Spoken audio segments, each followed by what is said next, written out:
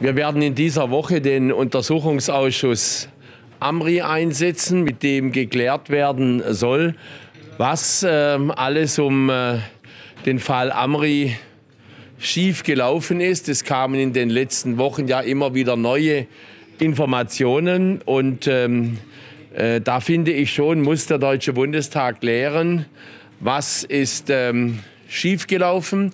Wir hoffen natürlich, dass äh, die Länder, in denen äh, Amri auch unterwegs war, mitmachen und die notwendigen Auskünfte geben. Ich appelliere an die äh, Landesbehörden in Berlin und äh, Nordrhein-Westfalen, dass sie dem Untersuchungsausschuss auch die notwendigen Informationen zur Verfügung stellen. Es geht schlicht und ergreifend um die Frage, was muss anders werden, damit so etwas nicht mehr passiert.